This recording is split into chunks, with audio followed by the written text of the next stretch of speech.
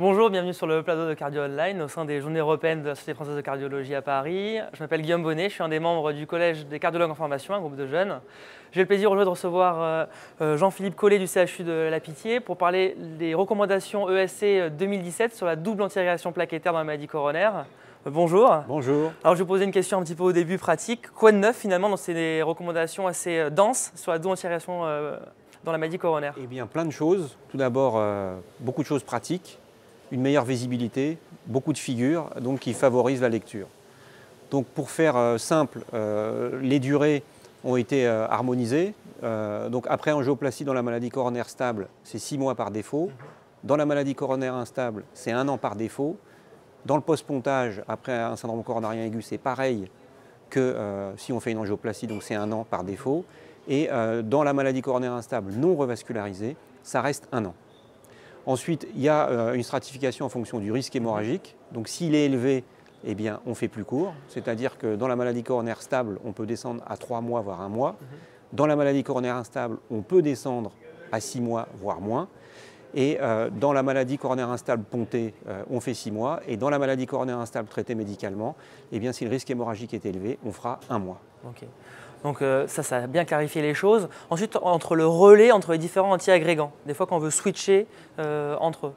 Alors, il y a euh, des modalités pratiques pour faire les relais d'un inhibiteur du P2Y12 vers l'autre. et ça aussi bien dans le, cadre, dans le, cadre, de la maladie coronaire instable, c'est-à-dire l'infarctus, mhm. quand par exemple les malades sont déjà traités par le clopidogrel, on veut passer au prasugrel. Donc dans toutes ces situations, ou au ticagrelor, dans toutes ces situations, il faut faire des doses de charge en respectant des délais notamment euh, lorsqu'on veut euh, relayer une thiénopyridine par eh bien, du, du, ticagrelor. Dans le contexte de la maladie coronaire stable, il n'y a pas de dose de charge quand on veut faire un relais, sauf chez les malades qu'on veut traiter au clopidogrel, où il faut faire 600 mg.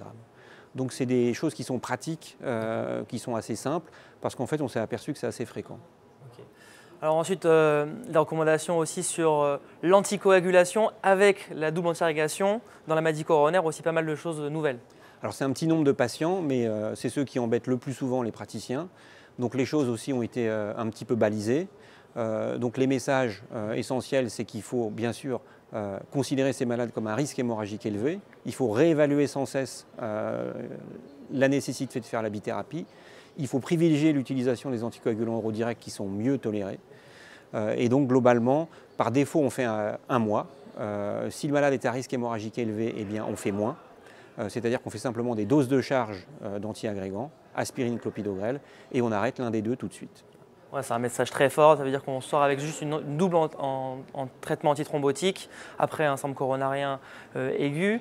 Autre question aussi un peu pratique, qu'en est-il du périopératoire? Un avis cardiologique assez fréquent, qu'est-ce qu'on fait dans une zone un peu périopératoire sur l'arrêt des traitements antithrombotiques? Alors, donc ça a été aussi un petit peu évoqué dans ces recommandations. Donc globalement, ce qui est dit, c'est que euh, sur euh, des gestes invasifs qui sont programmés, euh, donc on n'arrête pas pendant le premier mois après l'initiation de la bithérapie, mhm. et ça quel que soit le risque des malades. Et puis ensuite, si on n'est pas dans un contexte d'infarctus et on n'est pas dans un contexte d'anatomie coronaire compliqué, on peut arrêter à partir du troisième mois. Donc si la chirurgie n'est pas on ne peut pas la différer, bah, on, attend un mois. Si on peut la différer, on va faire trois mois s'il n'y a pas euh, ces, éléments, euh, ces éléments de risque, et sinon on fera six mois. D'accord. Donc on personnalise de plus en plus un peu le, profil, et donc il y a aussi des nouveaux outils, ça pour arriver à profiler un petit peu le patient et pour aider un peu à la décision thérapeutique qui parfois quand même euh, est assez importante. Tout à fait. Alors donc dans le périopératoire, il y avait juste une chose à rajouter, c'est que euh, la durée de non-prise pour le, le ticagrelor est maintenant de 3 jours et plus de 5 jours comme elle était avant. C'est une petite chose qui a changé. Euh, mais globalement, euh, c'est assez concordant et en particulier avec les recommandations des, sociétés d'anesthésie, notamment le GIHP. en ce qui concerne les profils de malades, il y a aussi beaucoup de travaux qui ont été faits là-dessus et donc il y a, on guide les praticiens pour identifier les anatomies à risque chez lesquels il faut poursuivre euh, la bithérapie au long cours.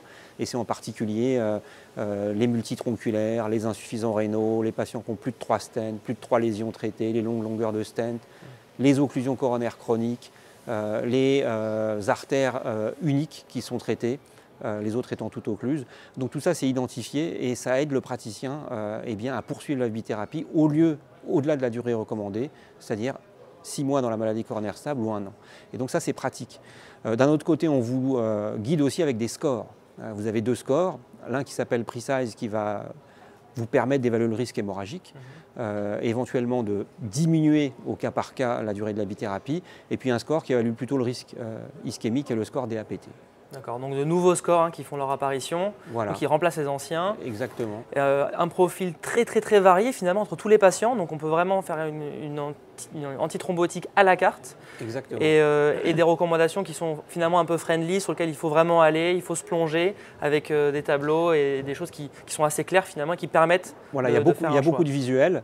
Et la deuxième chose, c'est que euh, les, experts ont fait très attention d'être concordants d'une recommandation à l'autre, hein, puisque ça se recoupe hein, avec les recommandations sur l'infarctus, avec les recommandations euh, sur euh, la prise en charge de la maladie artérielle périphérique. Donc il y a eu beaucoup de soins pour que les recommandations soient concordantes et qu'on ne dise pas noir ou gris eh dans une ou dans l'autre. Donc ça, c'est une recommandation qui est vraiment transversale et qui est concentrée sur les traitements voilà. et ces recommandations ont été faites de façon jointe avec les chirurgiens. Et euh, avec des collègues américains euh, qui ont fait leur mise à jour. Donc on est aussi concordant transatlantique. Ce qui est un peu unique.